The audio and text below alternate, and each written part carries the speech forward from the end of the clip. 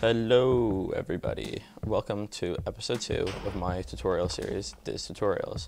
Today I'll be showing off my 1.16 plus concrete converter, which is no loss and runs at the maximum speed possible of 18,000 blocks converted every hour. Why my design is different is because I line the TNT the same every time, so each explosion will always be in the same spot.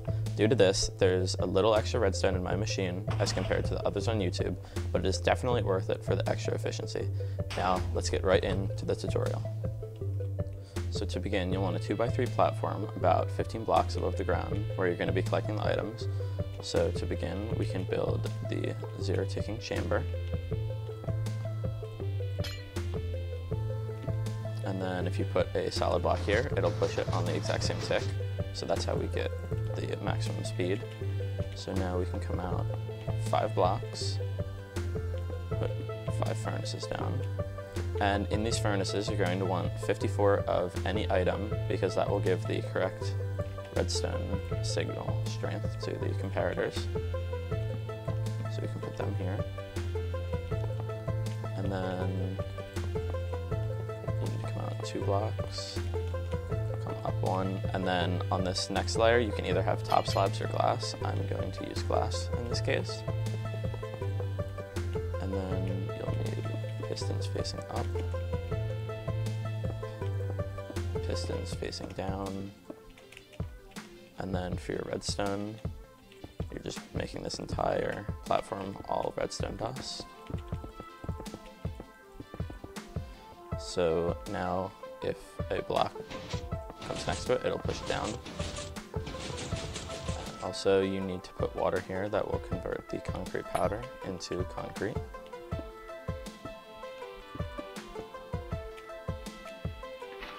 And then you just need to punch a hole right here so the blocks can still pass through. So next what we'll do is we'll start making the other redstone. So the piston here will help it if the blocks end up ever getting stuck. And this will normally only happen because of lag, but we'll build it just in case because it can't hurt.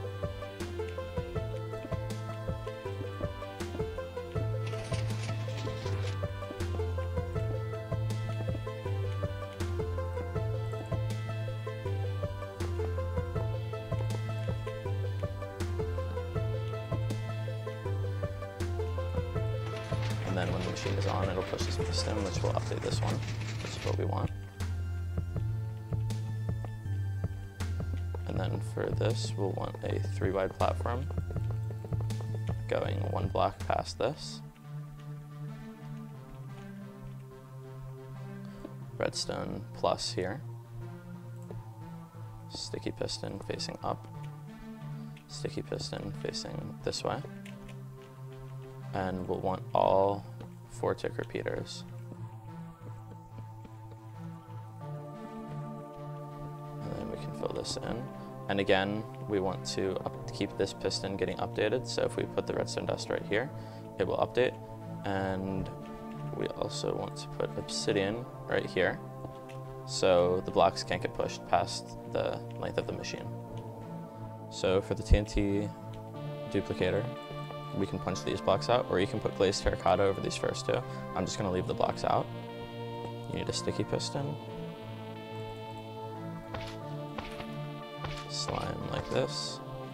Use a dead coral fan here. That's the only th block you can put there for it to work. Minecart on a detector rail. Put the cobblestone wall there. TNT here. Put the fence gate facing this way, so the cobblestone wall is attached to it. Open it, put another fence gate below it, and then to align it, we will need blocks here and blocks there. And then just to make sure it works, make sure both fence gates are open so the TNT falls through and doesn't break your machine. Power it, and now the TNT duper is working. And two little things before we move on to the next step. You want to put a glazed terracotta here so the slime doesn't pull it back. And you want to put a piston here so it updates this block when powered from above. So now moving on, we'll need to power this fence gate. And we need a 34 tick delay from the top so we can do seven repeaters at four ticks.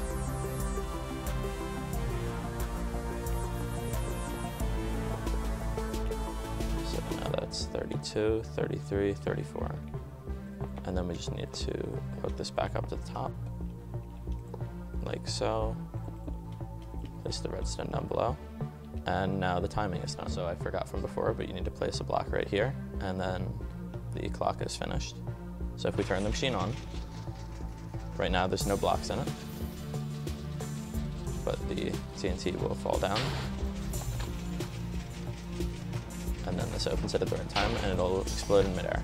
So one last thing to note, if you are using blocks with a low blast resistance, such as stone or dirt to build this farm, the blocks right here, I, you need to have a blast resistance of six or more or they will get exploded. So you can either use endstone or iron blocks or cobblestone or whatever. But in my testing, if you use blocks that are less blast resistant than that, then these blocks can get exploded and then the TNT will stay here and explode your machine, which you don't want.